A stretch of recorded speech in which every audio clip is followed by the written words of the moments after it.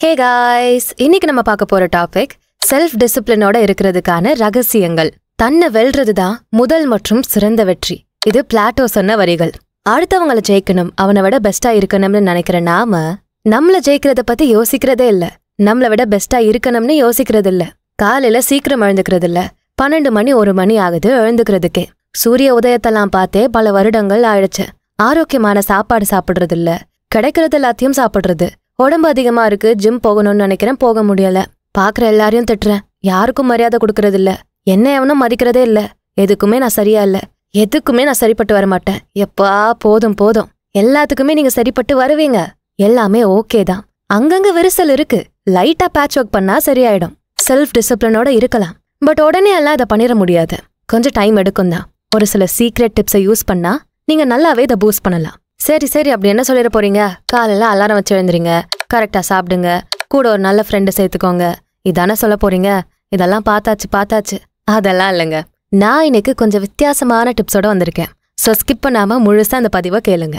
அதுக்கு முன்னாடி ஆடியன்ஸ்க்கு யூஸ்ஃபுல்லா இருக்கக்கூடிய ப்ரமோஷன் பண்ணணும்னா டிஸ்கிரிப்ஷன்ல இருக்க இன்ஸ்டாகிராம் லிங்க் இல்ல இமெயில் ஐடி கிளிக் பண்ணி எங்களை காண்டாக்ட் பண்ணுங்க. ஆல்ரைட் செல்ஃப் டிசிப்ளினோட இருக்கணும்னு கட்டுப்பாடோட இருந்தாலே அது ரொம்ப கஷ்டமா இருக்கும். அந்த கஷ்டம் தான் நம்மள எதையுமே அச்சீவ் பண்ண விடுறதில்ல. எல்லாத்தையும் வெறுக்கிறோம். காலையில சீக்கிரம் எழுந்துக்கணுமா? ச்சே என்னடா இது? பர்கர் பீட்சாலாம் சாப்பிடக்கூடாதா? இப்படி எல்லாத்தையும் வெறுத்து வெறுத்து நம்ம மேலேயும் நமக்கு அதிக வெறுப்பு வந்துருச்சு. ஆனா செல்ஃப் டிசிப்ளின் அப்படிங்கிறது உண்மையாவே செல்ஃப் லவ் தான். இந்த செல்ஃப் டிசிப்ளினை பெஸ்டா அச்சீவ் பண்ணணும்னா அதுக்கு இந்த மொத்த ப்ராசஸையும் என்ஜாய் பண்ணி பண்ணணும். லைக் உங்களுக்கு பிடிச்ச விஷயங்களை எப்படி நீங்க ரொம்ப ரொம்ப என்ஜாய் பண்ணி பண்ணுவீங்களோ அதே மாதிரி தான் இதையும் செய்யணும். ஆரோக்கியமா வாழறது அப்படிங்கிறது அழகான பயணம். கஷ்டமான விஷயமெல்லாம் இல்லை. ஸோ பாக்குற கோணத்தை கொஞ்சம் மாத்தி இதை ஹாப்பியான பயணமா மாத்திக்கணும். எக்ஸசைஸ் பண்ணணும் ஹெல்தியா இருக்கணும்னு முயற்சி பண்றப்போ வேண்டான்னு தானா மைண்டுக்கு தோணும் பெயின்ஃபுல்லா இருக்கும். பட் அந்த பெயின் வழியா தெரிகிற வெற்றியை பாக்குறப்போ அந்த பெயின் மொத்தமா காணாம போயிடும்.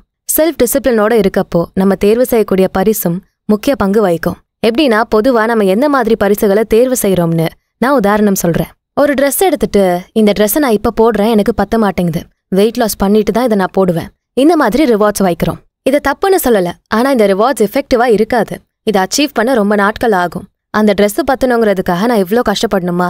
எதுக்கு? அப்படின்னு கிவ் அப் பண்ணிடுவோன்னு தோணும். மோட்டிவேஷன் இல்லாம போயிடும் இப்படி நிறைய எக்ஸாம்பிள்ஸ் இருக்கு. அவங்க கண்ணுக்கு நான் அழகா தெரியணும் டெய்லியும் நான் டென் தௌசண்ட் ஸ்டெப்ஸ் நடந்தா என் ஃப்ரெண்ட் என்ன பாராட்டுவான். இப்படி வெளி விஷயங்களை மட்டுமே சார்ந்து நம்ம கோல்ஸ் இருக்கக்கூடாது. லாங் டேர்மா நமக்கு இது கிடைக்க போகுது. நாம இந்த ட்ரெஸ்க்குள்ள ஃபிட் ஆக போறோங்கிற எண்ணத்துல டிசிப்ளினா ஃபாலோ பண்ணா அது கஷ்டமா தான் இருக்கும். இதை கொஞ்சம் மாத்தணும். பெர்ஸ்பெக்டிவா லைட்டா திருப்பணும். எப்படி மாத்தலாம்? உதாரணம் சொல்றேன். இப்போ உங்களுக்கு செம்மையா பசிக்குது. உடனே யாராவது சூப்பரான சாப்பாடு கொடுத்தா நீங்க எப்படி ஃபீல் பண்ணுவீங்க? ரிலாக்ஸ்டா இருக்குமா? இவங்க நம்மகிட்ட பேசினா நல்லா இருக்குமே நினைக்கிறீங்க. உடனே அவங்க வந்து பேசுறாங்க. இப்போ எப்படி ஃபீல் பண்ணுவீங்க? செம்ம ஹாப்பியா இருக்குமா? இப்படி இம்மீடியட்டா உங்களுக்கு எல்லாமே கிடைக்கணும். செஞ்ச உடனே உங்களுக்கு சந்தோஷமா இருக்கணும். உள்ள ஃபீல் ஆகணும். உள்ள திருப்தி கிடைக்கணும். நிறைய எனர்ஜி கிடைக்கணும். இதுதான் நம்மளோட மோட்டிவேஷனை அதிகமாக்கிக்கிட்டே இருக்கும். வெளியே மட்டும் சார்ந்திருக்கோம்னா அது கொடுக்குற ரிசல்ட்டும் எஃபெக்டிவா இருக்காது. டைமும் எடுத்துக்கும். இப்போ இன்ஸ்டாகிராம்ல டெய்லர் அக்கா ஜிம் அக்கா யோகா அக்கான்னு தனக்காக எல்லாம் பண்ணிக்கிறத விட அந்த அக்காங்களுக்காகவே tailoring class gym yoga class எல்லாம் போற மாதிரி பசங்க மீம்ஸ் போட்டுக்கிட்டு இருக்காங்க. ஜிம்முக்கு என் க்ரஷ் வரான்னு ஜிம்முக்கு போறாங்கன்னா அந்த க்ரஷ் வரலங்கிறப்போ அந்த நாள் ஜிம்முக்கு போக மாட்டாங்க. எக்ஸ்டர்னலா எதையுமே சார்ந்திருக்க கூடாது. உள்ள ஃபீல் ஆகணும். அதுவும் இம்மிடியட்டா ஃபீல் ஆகணும். எப்ப நமக்கு உடனடி சந்தோஷம் கிடைக்கும்னா அதுக்கு நம்ம கொடுத்துக்க வேண்டிய ஒரு பெஸ்ட் ரிவார்டு இருக்கு. அதுதான் என்ஜாய்மெண்ட் நல்லா யோசிச்சு பாருங்க. ஸ்கூலு காலேஜில் கண்ணா நீ தூங்குடா அப்படின்னு டீச்சர் கிளாஸ் எடுக்கிறாங்கிற பேரில் தூங்க வைக்கிற கிளாஸ் பிடிக்காது. ஆனா பிடி பீரியட்னா குஷி ஆயிடுவோம். ரெண்டு பீரியட் மேக்ஸ் டீச்சர் டேய் பரமா படிடான்னு கிளாஸ் எடுத்திருப்பாரு. அப்போல்லாம் தூக்கம் தான் வரும். எப்படா வீட்டுக்கு போன்னு இருக்கும். திடீர்னு இப்போ உங்களுக்கு பிடி பீரியட் இங்கிலீஷ் டீச்சர் வரலன்னு சொன்னதும் அந்த தூக்கம்லாம் எங்க போகும்னே தெரியாது. தலை வலிக்காது டயர்டா இருக்காது வீட்டுக்கு போகவே தோணாது. கிரவுண்ட்ல இறங்கி விளையாடுவோம். இன்னும் பெட்டரா சொல்லணும்னா அவ்வளோ நாள் காலேஜ் போகவே பிடிக்காது. ஆனா கல்ச்சுரல்ஸ்னா மட்டும் அந்த ரெண்டு நாள் எப்பவும் இருக்க காலேஜ் ஹவர்ஸை விட அதிகமா அங்கதான் இருப்போம். நைட்டு வர காலேஜ்ல இருப்போம். காலேஜ்ல ஆல்ரெடி இருக்க ஸ்டூடெண்ட்ஸை விட பழைய ஸ்டூடெண்ட்ஸ் சொந்தக்காரங்கன்னு பல ஸ்டூடெண்ட்ஸ் இருப்பாங்க. அந்த கல்ச்சுரல்ஸ்லயே கிடப்பாங்க. காலேஜே பத்தாது. ஸோ நம்ம என்ஜாய் பண்ண தான் லைக் பண்றோம். நல்லா என்ஜாய் பண்றது தான் எனக்கு ரொம்ப பிடிக்கும்னு நம்ம யோசிக்கிறோம். அப்போ அதுதானே நம்ம செய்யணும்? ஃபீல் பண்ணணும். அந்த ட்ரெஸ்ல நான் ஒல்லியான அப்புறம் ஃபிட் ஆகணும் அப்படிங்கிற மாதிரி இது காலங்கள் கழிச்சு கிடைக்க போறதில்ல. இந்த ஃபீல் உங்களுக்கு உடனே கிடைக்கும். ஃபீலிங் கிடைக்க வெயிட் பண்ண வேண்டியதே இல்லை. தினமுமே கிடைக்கும் இன்ஸ்டண்ட்டாக கிடைக்கும். செல்ஃப் டிசிப்ளின்ல நீங்க சூப்பரா இருக்கணும். அதை நல்லா பயிற்சி பண்ணணும் அப்படின்னா வெளியே இருக்க பரிசுகளை நோக்கி ஓடாம நீங்க பண்றத ஃபீல் பண்ணி பண்ணுங்க. இதுதான் உங்களோட வெறுப்பை குறைக்கும். மைண்ட்ஃபுல்லா இருக்கணும்னு சொல்லுவாங்க. நம்ம அந்த மொமெண்ட்ல என்ன பண்றோமோ அதை ஃபீல் பண்ணணும். பிரசன்ஸ் ஆஃப் மைண்டோட வேலை செய்யணும். செய்யற எல்லாத்தையும் என்ஜாய் பண்ணி பண்ணணும். நீங்க ஆசைப்படாம ஃபீல் பண்ணாம என்ஜாய் பண்ணாம பண்ணீங்கன்னா அது கூட நீங்க நெருக்கமாகவே முடியாது. அதை தினமும் பக்காவா கடைபிடிக்க முடியாது. செல்ஃப் டிசிப்ளின் இங்க இருக்காது. இந்த ஃபீல் எனக்கு வேணுமேனு வெயிட் பண்ணி அது உடனே கிடைக்கிற மாதிரி இருந்தாதான் நீண்ட காலம் உங்களுக்கு செல்ஃப் டிசிப்ளின் வேலை செய்யும். இந்த ஃபீலிங் உங்க எனர்ஜியை பூஸ்ட் பண்ணும். எனக்கு இந்த ட்ரெஸ்ல ஃபிட் ஆகணும். எனக்கு இந்த மாதிரி பல பலன ஸ்கின் வேணும். இப்படி அவுட்கம்ஸை சார்ந்து இல்லை. இதை செய்யறப்போ உங்களுக்கு எப்படி ஃபீல் ஆகுது? அந்த ஃபீலிங்கை நீங்க அனுபவிக்கணும். உதாரணத்துக்கு வெயிட் குறையணும் அப்படிங்கிறதுக்காக ஓடுறதுக்கான ரிசல்ட் கிடைக்க நாட்கள் ஆகும். அப்போ அது பெருசா மோட்டிவேஷனை கொடுக்காது.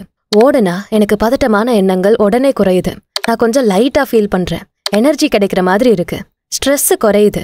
இது எல்லாமே கிடைக்கிற உண்மையான ஃபீலிங் தான். ஸோ இப்படி இந்த ஃபீலிங்கை நீங்க சார்ந்து வேலை செய்யறப்போ இம்மீடியட் ரிவார்டு அதாவது அதுக்கான பலன் உடனே கிடைக்கும். டயட் எடுத்து உடம்பு குறைக்கணுங்கிறதுக்காக நான் சாப்பாடை பார்த்து பார்த்து சாப்பிடல. இப்படி டயட் ஃபுட் சாப்பிட்றப்போ ஸ்ட்ரெஸ் இல்லாம இருக்கு. கம்ஃபர்டபுளாக இருக்கு. அப்படின்னு என்ஜாய் பண்ணணும் ஃபீல் பண்ணணும். இந்த ஆயிலி ஃபுட்ஸு அதிக காரம் இருக்க ஃபுட்ஸு இதெல்லாம் சாப்பிட்டா உடனே நமக்கு உடம்புல அன்ஈஸியான ஃபீலிங் வந்துடும் ஸோ அது இல்லாமல் நீங்கள் ஹெல்த்தியாக சாப்பிடும்போது உடம்பு நிஜமாவே நல்லா ஃபீல் ஆகும். ஸோ அந்த இன்ஸ்டண்ட்டான அந்த நல்ல ஃபீலிங்கை என்ஜாய் பண்ணுங்க. இது உங்களுக்கு புரியலனா நான் இன்னும் பெட்டரான எக்ஸாம்பிள் சொல்கிறேன் சாராக்கு நிறைய புக்ஸ் படிக்கணும்னு ஆசை. இந்த புக்ஸ் படிக்கிறத தன்னோட ஹேபிட்டா மாத்திக்கணும்னு ஆசைப்படுறா. ஒரு வருஷத்துக்குள்ள இருபது புக்கு முடிச்சிடணும்னு நினைக்கிறா. ஆனா அவளுக்கு அதுக்கான டைம் கிடைக்கிற மாதிரியே தெரியல. பெருசா மோட்டிவேஷனும் இல்ல. இருபது புக்கை முடிக்கணும். எவ்வளோ கஷ்டம் அப்படின்னு நினைக்கிறா. டைம் இல்லாமலும் இருக்காது. Just five minutes ten minutes கூட டைம் தான். அதை கூட ஒதுக்கி ரீட் பண்ண முடியலன்னா இங்க டிசிப்ளின் இல்லைன்னு தான் அர்த்தம். டிசிப்ளின் இல்லாதப்ப தான் சாக்கு போக்கு சொல்லுவோம். சாரா தேவையில்லாம சாக்கு போக்கு சொல்றா. சரி இப்ப சாராவை திட்ட வேண்டாம் அவ என்ன பண்ணா இதை பழக்கப்படுத்தி நல்ல ஹேபிட்டா தினமும் ஃபாலோ பண்ணலாம்னு சொல்லிக் கொடுக்கலாம். பழைய பெர்ஸ்பெக்டிவ் என்ன? இந்த வருஷம் முடியறதுக்குள்ள இருபது புக்ஸ் முடிக்கணும். இதுதான் கோல் இருபது புக்ஸை ஒரு வருஷத்துக்குள்ள முடிக்கிறது அவளுக்கு கஷ்டமா இருக்கு. டைமும் கிடைக்கிறது இல்ல இப்போ நாம அவளுக்கு புது பெர்ஸ்பெக்டிவ கொடுக்க போறோம். இருபது புக்கை நான் ஒரு வருஷத்துக்குள்ள முடிக்கணுங்கிறத அவ ஃபோக்கஸா வைக்காம ரீட் பண்றப்ப அவளுக்கு செம சந்தோஷமா இருக்கும்ல. அந்த ஃபீலிங்கை அவளை ஃபோக்கஸ் பண்ண வைக்கணும். இருபது புக்கை படிச்சு முடிக்கிறத விட அவ தினமும் புக் எடுத்து ஒரு லைன் படிச்சாலே சந்தோஷமா ஃபீல் பண்ணுவான்னு அவளோட பெர்ஸ்பெக்டிவா முதல்ல மாத்தணும். சோ தானா அவ அதை என்ஜாய் பண்ண ஆரம்பிப்பா. இதை எப்படி இம்ப்ளிமெண்ட் பண்ணலாம்? வருஷத்துக்கு இருபது மாசத்துக்கு அஞ்சு. இப்படி இவ்ளோ புக்கு வாசிக்கணும்னு கணக்கு எடுக்காம தினமும் இருபது நிமிஷம் நான் புக்கு ரீட் பண்ணணும்னு முடிவெடுக்கிறா. அவளுக்கு எந்த புக்கு நிஜமா பிடிக்குதோ அதையே சூஸ் பண்ணி ரீட் பண்றா. அதான் அவளுக்கு பிடிச்ச இடத்துல உட்காந்து கையில ஒரு டீயோட அவளுக்கு பிடிச்ச ஸ்நாக்ஸோட தினமும் இருபது நிமிஷம் ரீட் பண்றா. ரீட் பண்ணி முடிச்சதுக்கு அப்புறம் எப்படி இருக்குன்னு நோட் பண்றா. அவளுக்கு ரொம்ப ரிலாக்ஸ்டா இருக்கு. ஸ்ட்ரெஸ் எல்லாம் குறைஞ்ச மாதிரி இருக்கு. மனசுக்குள்ள ஏதோ ஒரு சந்தோஷம் இருக்கு. இதை தினமும் ப்ராக்டிஸ் பண்றதால சாராக்கு என்ன அவுட்கம் கிடைச்சது? எப்போல்லாம் அவள் புக்கு வாசிக்கிறாளோ அப்போல்லாம் அவளுக்கு ரிலாக்ஸ்டா இருக்கு. ஹாப்பியா இருக்கா? ஸோ எப்படா நம்ம ரீட் பண்ணுவோன்னு அவள் காத்திருக்கா. இந்த ஹாப்பி ஃபீலிங் அவளுக்குள்ள பெரிய மோட்டிவேஷனை கொடுக்குது. தினமும் ரீட் பண்றத ஹேபிட்டா மாத்திக்க வைக்குது. இந்த ப்ராசஸை என்ஜாய் பண்ணி பண்றா. ஸோ அவளுக்கு இந்த ரீடிங் ஹேபிட் வெறுப்பா இல்லை. இப்போ கொண்டாட்டமா மட்டும்தான் இருக்கு. சாரா சொல்ற மாதிரி சொல்லணும்னா முன்னாடி எப்படி ஃபீல் பண்ணிருப்பா? எனக்கு இந்த வருஷம் முடியறதுக்குள்ள இருபது புக்கு முடிக்கணும். ஆனா ரொம்ப பிஸியா இருக்கனே இதை பண்ண வாய்ப்பே இல்ல. இவ்வளோ புக்ஸ் படிக்க வேண்டியது இருக்கே அப்படின்னு நினைக்கிறப்பெல்லாம் எனக்கு மனசே கஷ்டமா இருக்கு. டிஸ்கரேஜ்டா ஃபீல் பண்றேன். நான் இன்னும் ஒரு புக்கு கூட முழுசா முடிக்கலைன்னு சொல்றேன். இதுதான் முன்னாடி இருந்த சாரா நினைச்சது. ஆனா பர்ஸ்பெக்டிவை மாத்தி இவ்வளோ புக்ஸ்னு கவுண்டே வைக்காம தினமும் ரீட் பண்ற ஹேபிட்டா வளர்த்துக்கிறா. தினமும் சாயந்தரம் இருபது நிமிஷம் புக்கை ரீட் பண்ண ஆரம்பிச்சேன். எனக்கு பிடிச்ச புக்கை தான் சூஸ் பண்ணேன். டீயோட ரிலாக்ஸ்டா ரீட் பண்ண ஆரம்பிச்சேன். இப்போ நான் இதை ரொம்ப என்ஜாய் பண்ணி பண்ணுறேன் இனி இத்தனை புக்ஸை ரீட் பண்ணணும்னு நான் ஸ்ட்ரெஸ்ஸே ஆக மாட்டேன். எனக்கு ரீட் பண்ண பிடிச்சிருக்கு. நான் சந்தோஷமாக ஃபீல் பண்ணுறேன் எப்படா ரீட் பண்ணுவோன்னு நான் காத்துக்கிட்டு இருக்கேன். இப்படி அவளோட பெர்ஸ்பெக்டிவ் மாறிடுச்சு. ஸோ நாம எப்போ ஒரு ஹேபிட்டை வெறுக்கிறோமோ அப்போ தான் அது கஷ்டமாக இருக்கும். அதே நம்ம பிடிச்ச மாதிரி மாற்றிக்கிட்டு பண்ணா எப்படா அதை பண்ணுவோன்னு வெயிட் பண்ணிக்கிட்டு இருப்போம். நம்ம கிடைக்க வேண்டிய ரிவார்டை டிலே பண்ணாமல் அப்போவே அதை அடையிற மாதிரி பார்த்துக்கணும். அதனால தான் ஃபீலிங்கை ரிவார்டாக கொடுக்க சொல்கிறேன் ரீட் பண்ணால் அந்த ஹாப்பினஸ் உங்களுக்கு கிடைக்குதுன்னா புக்கை முடிக்கிறது கோலாக இருக்காது. ரீட் பண்ணா போதும்னு இருக்கும்.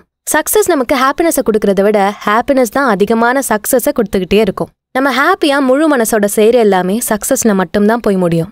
அப்போ நமக்கு பரிசுகளை கொடுக்கணும். அந்த பரிசை ஃபீலிங்கா கொடுக்கறப்போ இம்மிடியட்டா நமக்கு பரிசு கிடைக்கிறதுனால அதை ஈஸியான ஹேபிட்டா நம்ம மாத்திப்போம். கஷ்டமா அதை பார்க்க மாட்டோம்.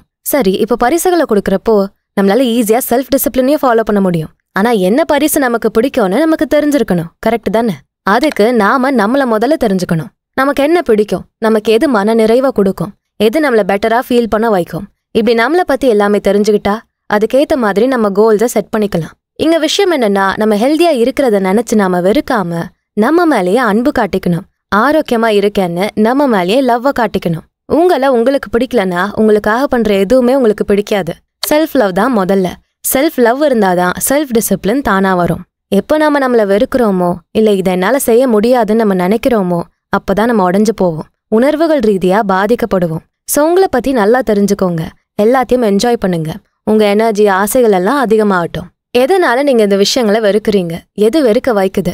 ஏன்னா ஆரோக்கியமா இருக்கிறதுக்காக தான் நம்ம ஜிம்முக்கு போறோம் எக்ஸசைஸ் பண்றோம் பழங்கள் காய்கறிகள் எல்லாம் சாப்பிடுறோம். அந்த பயணத்தை நம்ம ஏன் வெறுக்கணும்? எது நம்மளை வெறுக்க வைக்குது? இதை நம்ம கண்டுபிடிக்கணும். மோஸ்டா என்ன காரணமா இருக்கும்னா அந்த ஆரோக்கியமான வாழ்க்கைய டிசிப்ளின் நிறைஞ்ச வாழ்க்கைய நம்ம தனி டாஸ்கா பாக்குறோம் நம்ம வாழ்க்கையை விட்டு ஓரமா ஒதுக்கி வச்சு அதை செய்ய நினைக்கிறதால தான் கஷ்டமா இருக்கு. இந்த ஆரோக்கியம் எக்ஸசைசஸ் நல்ல உணவுகள் இதெல்லாம் நம்ம வாழ்க்கையோட ஒரு அங்கம். நம்மள ஒரு பகுதி இப்படி நினைக்கிறப்போ வெறுப்பெல்லாம் வராது. என்ஜாய் பண்ணி பண்ணுவோம். ஸோ எந்த பாயிண்ட் வெறுப்பை தூண்டுதுன்னு கண்டுபிடிச்சா நமக்கு புது வழியும் கிடைக்கும். ஆரோக்கியமா வாழணும்னா மாசம் ஆயிரம் ரெண்டாயிரம் ரூபாய் கட்டி ஜிம்முக்கு தான் போகணும்னு அவசியம் இல்ல. நிறைய வழிகள் இருக்கு.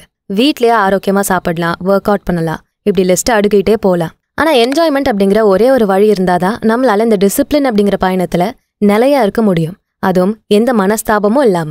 கொஞ்சமா சாப்பிட்டாலும் என்ஜாய் பண்ணி சாப்பிட்றப்போ மனசும் நிறையும் உடம்பும் நிறையும். இன்னும் வேணும் இன்னும் வேணும்னு கிரேவிங்ஸ் அதிகமா இருக்காது. கம்மியா தான் நம்ம சாப்பிடுவோம். அதுவே என்ஜாய் பண்ணாம வேக வேகமா கப்புறப்ப தான் பசியே அடங்காது. ரசிச்சு என்ஜாய் பண்ணி நல்லா மென்னு சாப்பிட்றதுக்கும் வேக வேகமா நிறைய சாப்பாடை கப்புறதுக்கும் வித்தியாசம் இருக்கு. கொஞ்சம் சாப்பிட்டாலும் என்ஜாய் பண்ணி நல்லா மென்னு சாப்பிட்டாலே போதுமானது. ஆக்டர் மாதவன் ரீசெண்டா வெயிட் லாஸ் பண்ணிருக்காரு. அதுக்கு அவர் செஞ்சதெல்லாம் ரெண்டே விஷயம்தான். ஒன்னு வாக்கிங் போறது இன்னொன்னு சாப்பிடுற சாப்பாடை நல்லா மென்னு சாப்பிடுறது. இதுவே வெயிட் லாஸ்க்கு ரொம்ப போதுமானது. நம்ம சாப்பிடுறப்போ வாயிலேயே பாதி டைஜஷனை முடிச்சிடணும். பாதி என்ன முக்கால்வாசி டைஜஷன் வாயிலே முடிஞ்சிடணும். மிச்சது தான் வயிறுக்கு போய் செரிக்கணும். நீங்க எது செஞ்சாலும் முதல்ல உங்களை ஃபர்ஸ்ட் ஆளா நிக்க வைங்க. உங்க மேல நம்பிக்கை வச்சு எந்த ப்ராசஸையும் ஆரம்பிங்க. செல்ஃப் டிசிப்ளினுக்கான சீக்ரெட் டிப்ஸை மொத்தமாக ஒரே கோர்வையாக இப்போ சொல்லிடுறேன். நம்பர் ஒன் உங்களை நீங்கள் தெரிஞ்சுக்கணும். உங்களுக்கு என்ன பிடிக்கும் என்ன பிடிக்காது ஏன் உங்களுக்கு இப்படிப்பட்ட உணர்வுகள் வருது இது எல்லாத்தையும் நீங்கள் புரிஞ்சுக்கணும். நம்பர் டூ நீங்கள் வெறுக்கக்கூடிய விஷயங்களில் உங்கள் எனர்ஜியை வேஸ்ட் பண்ணாதீங்க. நீங்கள் வெறுக்கிற விஷயங்களை பற்றியே யோசிக்கிறப்போ அது உங்கள் வாழ்க்கையில் பாதியிலே ஸ்டக் ஆகி தான் நிற்க வைக்கும். சக்கரத்தில் ஏதாவது சிக்கிக்கிட்டு வண்டி ஓடாமல் நிற்குமே அதே மாதிரி தான் லைஃபும் நிற்கும் ஸோ வெறுக்கிற விஷயங்களை ஃபோக்கஸ் பண்ணவே வேண்டாம்.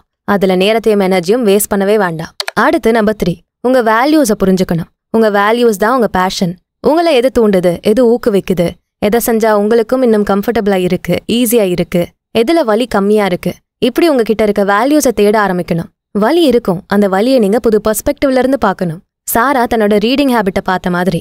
அடுத்து நம்பர் ஃபோர் எல்லாத்தையும் ஃபீலிங்கா மாத்தணும். சாரா பண்ணதுதான் இத்தனை புக்குன்னு கவுண்ட் வச்சா அதனாலேயே கஷ்டமா இருந்தது அவளுக்கு. அது அப்படியே அவ ஃபீலிங்கா மாத்துனா. ரீட் பண்ணா எனக்கு எவ்வளவு ரிலாக்ஸ்டா இருக்கும்னு யோசிச்சா. அது தினமும் செஞ்சா எல்லாமே ஈஸி ஆயிடுச்சு. அடுத்து நம்ம ஃபைவ் ஃபீலிங் மேல கவனம் செலுத்தணும். அந்த ஃபீலிங் உங்களுக்கு வர ஆரம்பிச்சதும் அதை நீங்க எக்ஸ்பீரியன்ஸ் பண்ண ஆரம்பிச்சதும் எனக்கு அதே ஃபீலிங் இன்னும் வேணும் வேணும்னு தான் கேட்கும். சாரா ரீட் பண்ணா எனக்கு ரிலாக்ஸ் ஆகுதுன்னு ஃபீல் பண்ணா. அதுக்கு அடுத்ததுல இருந்து எப்படா நம்ம திரும்ப ரீட் பண்ணுவோம்? எப்படா அந்த நேரம் வரும்னு காத்துக்கிட்டே இருக்க ஆரம்பிச்சிட்டா. இப்படிதான் உங்க ஆசைகள் உருவாகும். நீங்க எதை வெறுக்கிறீங்களோ அது மேல ஆசைகள் உருவாகும். நீங்க முன்னாடி எதை வெறுத்தீங்களோ அது மேலேயே ஆசைகள் உருவாகும். ஸோ ஃபீலிங்கை கவனிங்க. அது தானாக செல்ஃப் டிசிப்ளினை உருவாக்கும். அடுத்து நம்ம சிக்ஸ் முன்னேறி போக பழகணும். உண்மை என்னன்னா நீங்கள் எடுத்து வைக்கிற ஸ்டெப்ஸில் தோல்வி வரும். ஆனால் அந்த தோல்வியை நெகட்டிவாக பார்க்காம வெற்றிக்கான முதல் படியாக பாருங்க. நீங்கள் முன்னேறி போக போக வளர்ந்துக்கிட்டே இருப்பீங்க. அடுத்து நம்ம செவன் புது அடையாளத்தை உருவாக்கணும். நீங்கள் எதை நம்புறீங்களோ அதுதான் நீங்கள் செல்ஃப் டிசிப்ளின் எனக்கு இருக்குன்னு நீங்கள் நம்புனா அதுக்கேற்ற மாதிரி நடந்துக்க முடியும். உங்களோட புது அடையாளத்தை உருவாக்கணும்னா அதுக்கு நீங்கள் உங்களை நம்பி உங்கள் கதையை புதுசாக துவங்கணும். அடுத்து நம்பர் எயிட் என்னால பண்ண முடியலன்னு தோணுனா அதுல கேள்வி எழுப்புங்க. இல்ல எனக்கு ஜிம்முக்கு போக கஷ்டமா இருக்கு. டயட் எடுக்க கஷ்டமா இருக்கு. டிசிப்ளினோட இருக்க கஷ்டமா இருக்குன்னு ஃபீல் பண்ணா ஏங்கிற கேள்வியை எழுப்பணும். அந்த கேள்வியே காரணத்தை காட்டும். காரணம் தெரிஞ்சிருந்தா எல்லாத்தையும் சால்வ் பண்றது ஈஸியாயிடும் எது பண்றதா இருந்தாலும் என்ஜாய் பண்ணி பண்ணுங்க. சந்தோஷமா என்ஜாய் பண்ணி பண்ற எதையுமே நாம வெறுக்க மாட்டோம் மறுக்கவும் மாட்டோம். நீங்க நினைக்கிறத விடவே உங்ககிட்ட நிறைய திறமைகள் இருக்கு. இப்ப என்கிட்ட இவ்வளோதான் தெம்பு இருக்குன்னு நினைக்கிறீங்க. ஆனா இதை தாண்டியே உங்களுக்கு தெம்பு இருக்கு. இங்க பிரச்சனை நீங்க இல்ல. இவ்வளவுதான் எனக்கு வரும்னு நீங்க குறைவா நம்புறீங்கல்ல. அந்த நம்பிக்கை தான் இங்க பிரச்சனை. பாக்குற கோணத்தை மாத்தினா வாழ்க்கையவே மாத்தலாம். மொத்தத்துல செல்ஃப் டிசிப்ளினோட இருக்கணும்னா அதுக்கு நீங்க பண்ற ஒவ்வொரு டிசிப்ளின் ப்ராசஸையும் என்ஜாய் பண்ணி பண்ணணும். ஃபீலிங்கை டெவலப் பண்ணிக்கணும். அவ்வளவுதான். வாழ்க்கையோட மொத்த டிரெக்ஷனுமே பாசிட்டிவான வழியில மாறிடும். ஸோ செல்ஃப் டிசிப்ளினை பத்தி நீங்க என்ன நினைக்கிறீங்க? இந்த பதிவை பத்தி உங்க கருத்துக்கள் என்னன்னு கமெண்ட்ஸ்ல சொல்லுங்க. இந்த வீடியோ உங்களுக்கு பிடிச்சிருந்தா இதுக்கு ஒரு லைக்கை போட்டுட்டு உங்க ஃப்ரெண்ட்ஸ் அண்ட் ஃபேமிலிக்கு ஷேர் பண்ணுங்க. நம்ம channels beyond the ordinary and body and soul Tamil ரெண்டுத்துக்கும் சப்ஸ்கிரைப் பண்ணிட்டு பெல் ஐக்கானை அழுத்துருங்க. நான் உங்களை அடுத்த வீடியோவில் பார்க்கறேன். நன்றி.